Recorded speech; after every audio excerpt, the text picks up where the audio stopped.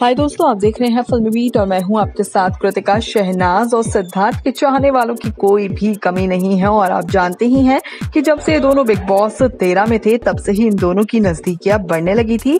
हालाँकि कई बार शहनाज गिल तो जमाने के सामने सिद्धार्थ को लेकर अपने प्यार का इजहार कर चुकी है, लेकिन सिद्धार्थ है की अभी खुलकर कुछ भी नहीं बोलते नज़र आते हैं। लेकिन अब विकास गुप्ता ने अपने लाइव चैट के दौरान एक ऐसी बात बोल दी है जिसको सुनकर आप भी हैरान रह जाएँगे, क्योंकि विकास ने बोला है कि अगर सरनाज की शादी होगी तो वो लड़के वाले, यानी कि सिद्धार्थ की तरफ़ से शादी में शामिल होंगे। जी हाँ यानी कि विकास, जो कि सडनास की जोड़ी के काफ़ी करीबी है, उन्होंने ऐसी बात की है तो इससे यही अंदाज़ा लगाया जा रहा है कि भाई सडनास के बीच ज़रूर दाल में कुछ तो काला है। इन दोनों के बीच काफ़ी नजदीकियाँ है।